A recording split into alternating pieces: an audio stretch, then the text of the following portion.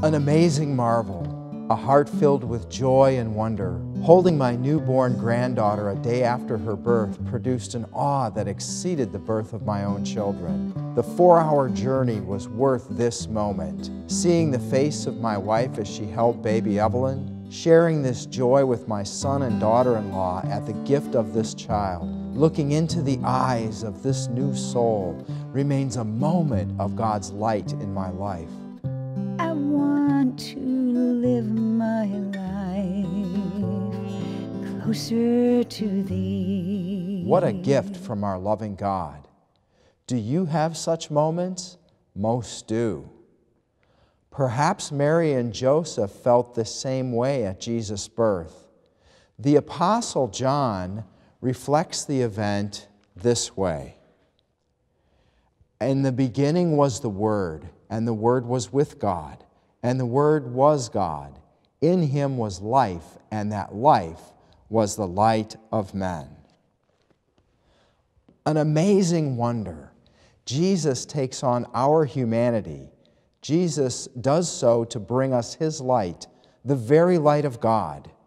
Jesus brings us his light in so many ways as we live in the gift of this life.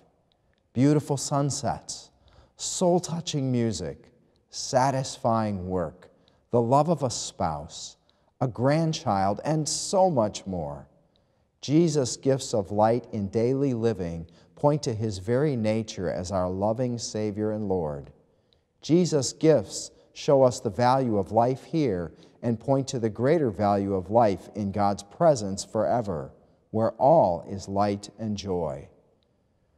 Where do we find God's gifts of light and joy when life becomes difficult, when we seem to be a burden to those around us, when daily life seems to stretch out in dreary sameness, when we entertain the question, What is my life worth right now?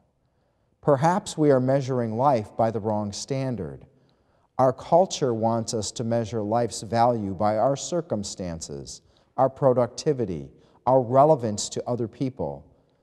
God graciously gives us a different measure the very presence of Jesus living in us, the Son of God who knows our human weakness from personal experience, who is able to grant us the grace to walk with Him through every part of life.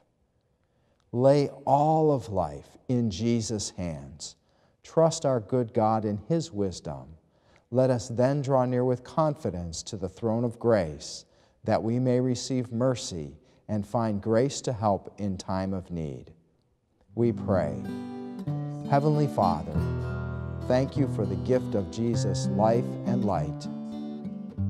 Lead me by your Spirit to live as your dear child each and every day. In Jesus' name, amen.